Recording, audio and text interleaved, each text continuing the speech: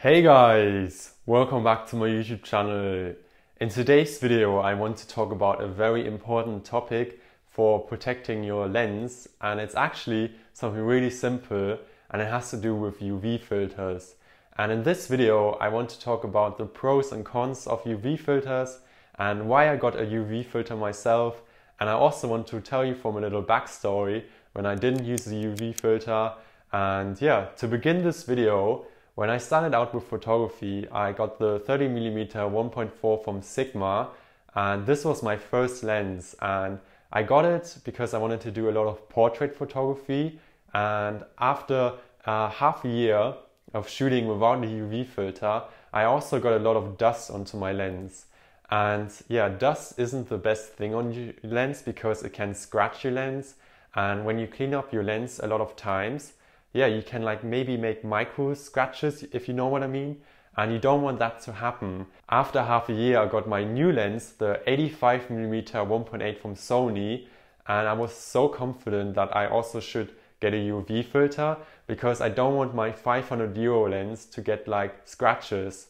So I got my first UV filter online and I paid like 10 or 15 euros and I put it onto my lens and when I started doing my first photos, I didn't really see a big difference. And to start off with the pros, UV filters are very cheap and when you put them onto your lens, they help you to get rid of UV light and of course they help you to prevent scratches and dust going onto your lens.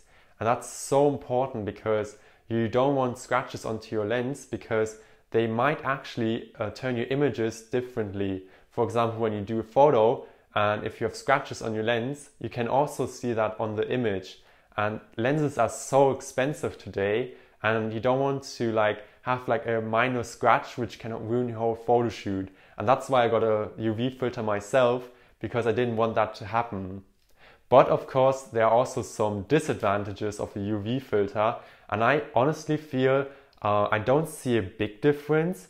But when you go closer and look at an image, there's like a 1 or 2% slightly difference. For example, at the end of the day, a UV filter is still another glass on your lens. And yeah, it's not the most expensive glass you get. It's a cheap glass when you go for a cheap UV filter. And yeah, it's it can make some differences in the image. I personally didn't see a huge difference. Um, the sharpness was still there, and overall, my clients and the models I worked with were still happy with the pictures.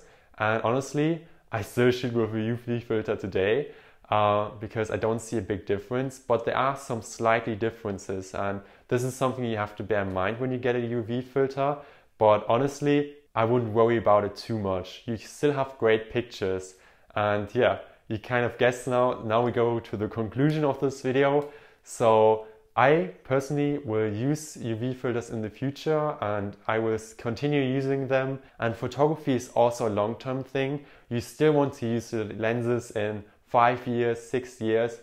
So that's why I still use a UV filter today and I haven't regretted at all. I actually really love uh, filming with a UV filter. What I'm doing right now, I'm actually having a UV filter on my camera now and on my photo shoots I always use the UV filter so yeah, I hope you enjoyed this video. I hope I was able to help you with this video.